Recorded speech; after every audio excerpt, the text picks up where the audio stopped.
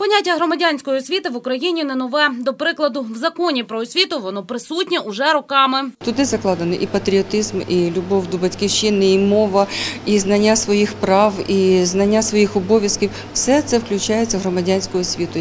Саме тому концепція пропонована до розгляду громадськості особливо важливий документ. Переконані учасники круглого столу. Трішки маловато цьому приділяється уваги, е, мало знають своїх прав. Нам більшості говорять про наші обов'язки, але саме про свої права наші громадяни і громадянські організації знають, знають замало. Вони не завжди знають, куди можна звернутися, вони не завжди знають, чого можна добиватися. Тому над цим повинні працювати всі і державні органи, і громадянські органи.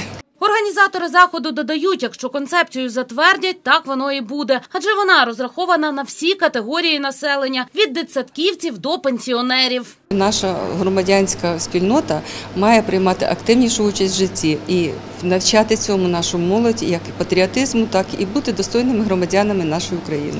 Оксана Чушкіна, Антон Чапалдан. Новини телеканал Ті 8